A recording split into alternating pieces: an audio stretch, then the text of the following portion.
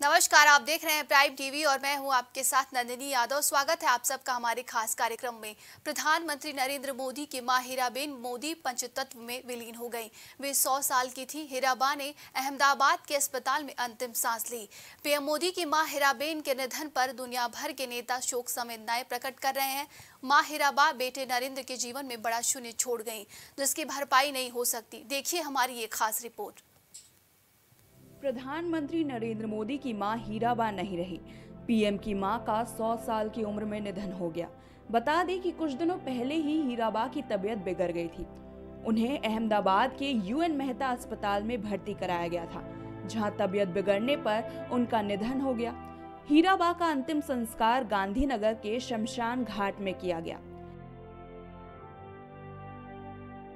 दरअसल तबीयत बिगड़ने पर हीराबेन को अहमदाबाद के U N Mehta institute of cardiology and research centre में भर्ती करवाया गया था। डॉक्टरों की एक एक्सपर्ट टीम उनकी देखरेख कर रही थी, लेकिन तब उन्हें नहीं बचाया जा सका।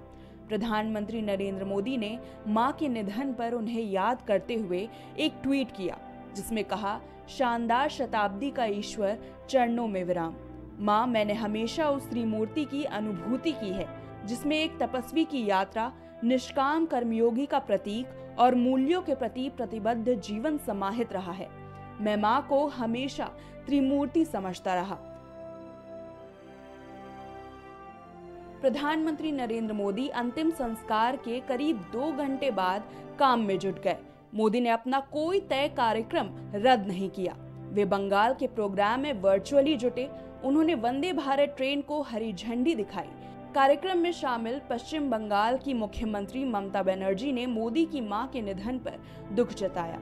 उन्होंने कहा, ये दिन आपके लिए तकलीफ़ भरा है। आपकी माँ, यानी हमारी भी माँ। ईश्वर आपको शक्ति दे कि आप अपना काम जारी रख सके। मेरा अनुरोध है कि आप कुछ समय आराम भी करें। साथ ही भाजपा के दिग्गज नेताओं ने श्रद्धांजलि अर्पित की है। तो उधर राहुल गांधी ने भी ट्वीट किया। प्रधानमंत्री नरेंद्र मोदी की माँ हीराबा के निधन की खबर बेहद दुखद है। प्रियंका गांधी ने ट्वीट किया, प्रधानमंत्री नरेंद्र मोदी की माता के निधन का दुखद समाचार मिला। ईश्वर दिवंगत पुण्यात्मा को श्री चरणों में स्थान दे। समाजवादी पार्टी प्रमुख अखिलेश यादव ने ट्वीट किया प्रधानमंत्री नरेंद्र मोदी जी की माता हीराबेन मोदी का निधन अत्यंत दुखद। ईश्वर उनकी आत्मा को शांति दे। शोक संतप्त परिजनों के प्रति गहरी संवेदनाएँ भावभीनी श्रद्धांजलि। साथ ही भाजपा के दिग्गज नेताओं ने श्रद्धांजलि दी। ज़ाहिर है कि पीएम मोदी अपनी माँ हीराबेन से कितना प्यार करते हैं और उन्हें अपनी ज़िंदगी में कितना अहम मानते हैं। ये किसी से नहीं छुपा। उन्होंने घर भले ही छोटी उम्र में छोड़ दिया, लेकिन माँ के स्नेह और दुलार से दूर नहीं हुए।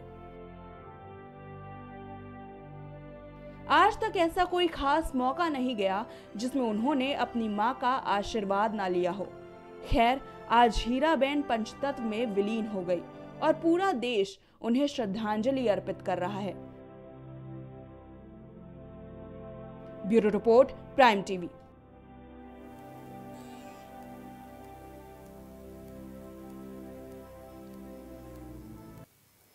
हमारी खास रिपोर्ट में बस इतना ही। देश दुनिया की तमाम खबरों के लिए देखते रहिए प्राइम टीवी। कुछ भाव पुष्प। आप देख रहे हैं प्राइम टीवी। सच साहस सरोकार।